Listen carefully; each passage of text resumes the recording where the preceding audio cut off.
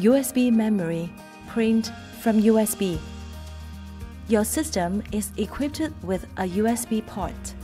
You can use it to print data from a USB memory device. PDF, JPEG, TIFF, XPS, Word document, XLSX Excel, and PPTX PowerPoint are the file formats that supported by the system. To do this, insert a USB memory device into the USB port of the machine. Wait for the system to pop out the information screen. Tap Print a document from external memory. Select a file to print. Then tap Print.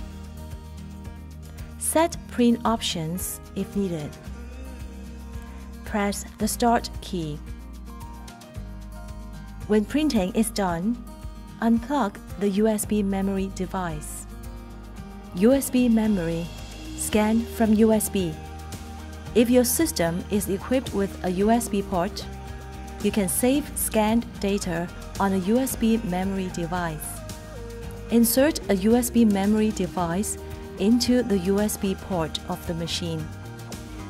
Wait for the system to pop out the information screen. Tap Save a document to external memory. Set file scan options if needed. Press Start. When the operation is done, unplug the USB memory device.